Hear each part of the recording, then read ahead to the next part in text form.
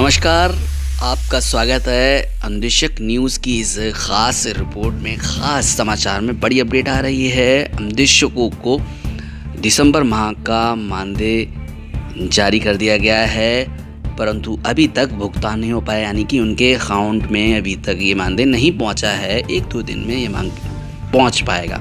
दो माह विलम्ब से जारी हो पाया अंदेशक मानदेय, जितना मिला उससे ज़्यादा अंदेशक कर्जदार हो गए हैं। इतनी देरी से मिला हुआ मानदेय कहीं ना कहीं ये एक शोषण की प्रकाष्ठा को व्यक्त करता है। इतना कम मानदेय वो भी दो दो तीन तीन महीने बाद प्राप्त होता है। इसके लिए अंदेशक हमेशा अपनी आवाज़ उठाते रहे हैं, लेकिन उनकी कोई भी सुनवाई नहीं हो पाती है।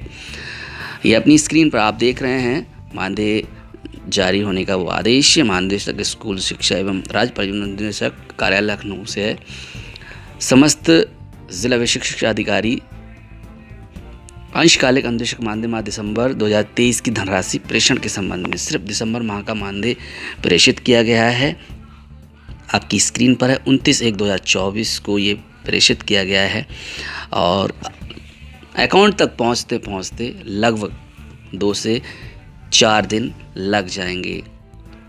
इस बीच अंदेशकों ने कैसे अपना गुजारा किया होगा, कैसे अपना खर्च किया होगा, कैसे अपने परिवार का भरण पोषण किया होगा, ये वही बेहतर तरीके से जान सकते हैं।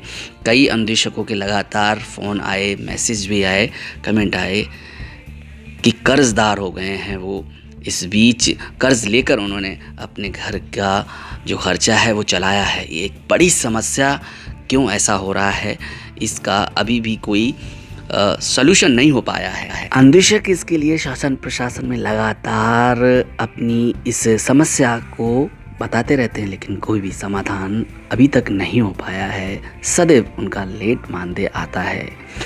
साथियों, आज 30 जनवरी है और आज मानदेय सत्रह हज़ार को लेकर माननीय सुप्रीम कोर्ट में अंदेशकों की डेट लगी हुई है। हम ईश्वर से प्रार्थना करते हैं, आपको सफलता मिले और माननीय सुप्रीम कोर्ट पर विश्वास है कि न्याय अवश्य मिलेगा।